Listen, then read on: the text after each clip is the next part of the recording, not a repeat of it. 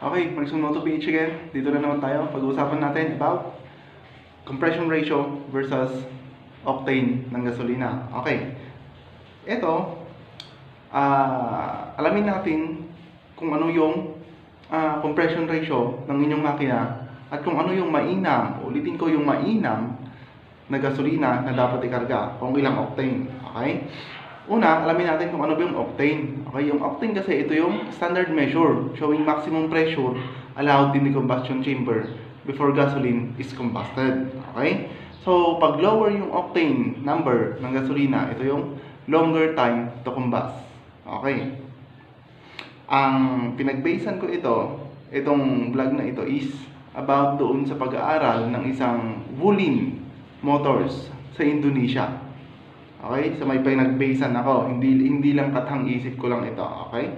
Ayan. Tapos yung compression ratio naman is yung ratio ng volume of cylinder when the piston is at the top dead and at the top bottom of the dead center. Okay? So, ayan. Sa compression ratio naman, the higher compression ratio, ito yung larger density of air and gas, more fuel is combusted. Okay?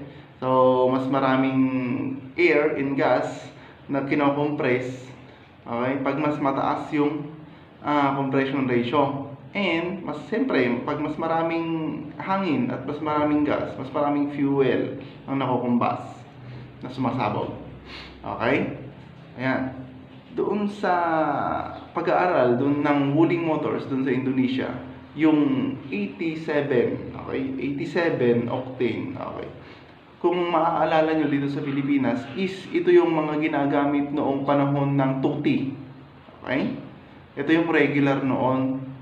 Kung maaalala nyo, ginagamit namin ito sa sa chainsaw. Okay? Chainsaw. Ito yung regular noon. O, pero ngayon na-phase out na. 91 na kasi ang minimum ngayon.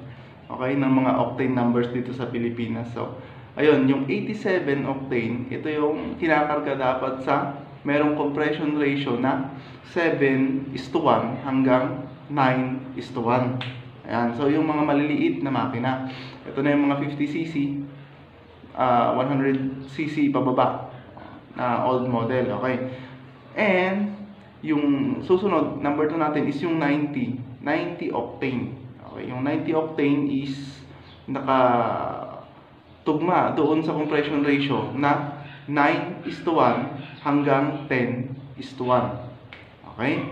Susunod, yung 92 octane. Okay, yung 92 octane, nakatugma naman siya doon sa compression ratio na 10 is to 1 hanggang 11 is to 1. Okay? Ayan. Next is yung 98 octane. Okay? Yung 98 octane, nakatugma siya doon sa 11 is to 1 hanggang sa 12 is to 1. Okay? And lastly, yung 98 octane, okay, is yung 100, ah, I mean, sorry, sorry, sorry. Yung 12 is to 1. Walang 100. 12 is to 1. Okay? Pataas. Okay? Kung makikita nyo dito sa example natin sa ating chart, dito kasi sa Pilipinas, meron tayong 100 octane. Okay, 100 octane. Okay. So, nandun na siya doon sa na, uh, compression ratio na 12 is to 1 pataas. Okay? And dito rin sa ating table chart, wala kayong makikitang ah, 91. So, naglalaro siya doon sa either mamili ka sa mas mababa ng isa or mas mababa ng ah, mas mataas ng isa doon sa 90 and 92. And meron din tayo dito 93 93 octane sa Pilipinas. Dito sa ating chart, walang 93. So mamimili ka, naglalaro siya doon sa may 92. Okay. Pero nakadepende yan doon sa compression ratio ng iyong makina. Paano ba malalaman yung compression ratio ng iyong makina? I-check mo doon sa manual. Okay? Manual. For example, magsasample tayo dito. Okay? Ayan. For example, ito. Owner's manual ng Honda Click 125. Okay, 125 na makina.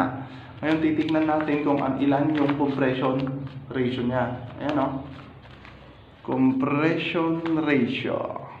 Dito. Yun. Clear ba? 11 is to 1. 11 is to 1 ang nagpapakita sa compression ratio niya. Medyo malabo kasi itong camera natin eh. Hindi siya clear.